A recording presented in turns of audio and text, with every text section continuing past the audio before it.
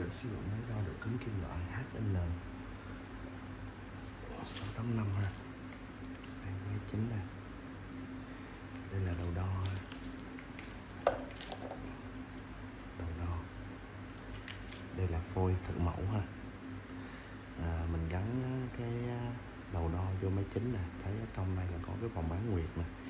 Trên máy đây cũng có một cái vòng bán nguyệt luôn. Đây thì mình gắn vô cho đúng ha đóng này đó. Nhấn mở nguồn.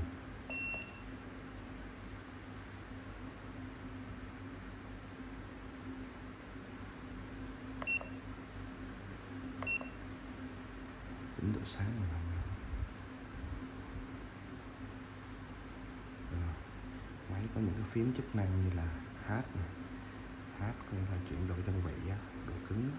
ví dụ ở đây đang HL này mình muốn chuyển đổi đơn vị nào mình bấm H ha có HV này HB này HRC này HS này HRB này HL đó là nút là nút H đây là nút chuyển đổi đơn vị. Rồi, material là chọn vật liệu đo. Ví dụ sắt thép đây này sắt thép của mình là sắt thép đây. Bấm thì nó đổi thép làm nguội này thép không rỉ này. Gan này. nhôm này. Đồng này. Đó, mình chọn cái vật liệu đo ha. Từ mình chọn sắt thép đây. Rồi. Nó có một cái số chức năng nữa là cái hướng tác động của đầu đo. Đây là đầu đo đây nó có hướng tác động tác động của đầu đo là nút direct này hiện tại này tác động đầu đo là từ, từ trên xuống dưới là mình đo cái lấy đầu đo của mình đó đưa thẳng vào trong cái mẫu đo này đây, này. đây. hướng tác động đầu đo là từ trên xuống dưới nha. đó và có nếu mình bấm thì nó có nhiều hướng này hướng xéo này 45 độ này hướng vuông góc bên này xéo lên này hướng từ dưới lên trên này và thông thường mình đo từ trên xuống dưới ha. Rồi có một phím chức năng như là escape enter được để mình vô chức năng, những cái chức năng khác. Nhưng mà thông thường thì mình không có cài đặt những cái chức năng khác Hãy đã cài đặt sẵn với mình rồi, để mình sử dụng. Sau đây mình test mẫu ha. Đây, mình đo trên sắt thép đây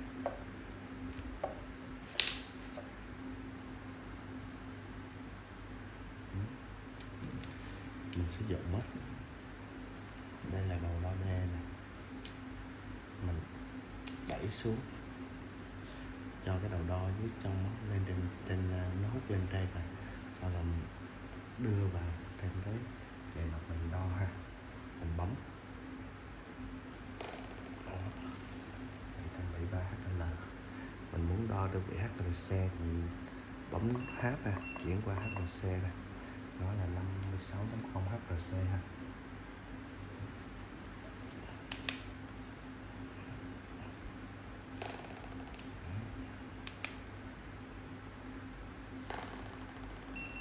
Máy mình đó nó lấy uh, trung bình 3 lần đo này 3 lần đo. Ở trên đây là hồi nãy giờ mình đo 3 lần đo. 3 lần đo và lấy giá trị trung bình này từ nãy giờ mình đo lấy giá trị trung bình ở đây cứ mỗi 3 lần đo là máy sẽ lấy giá trị trung bình ha Rồi, không sử dụng máy thì mình tắt nguồn.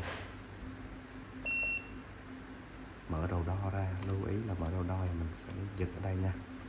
Giật ở đây ra này. đừng có nắm ở trên dây đây mình giật. Nắm trên đây dây giật sẽ bị đứt dây đầu đo. Hư máy.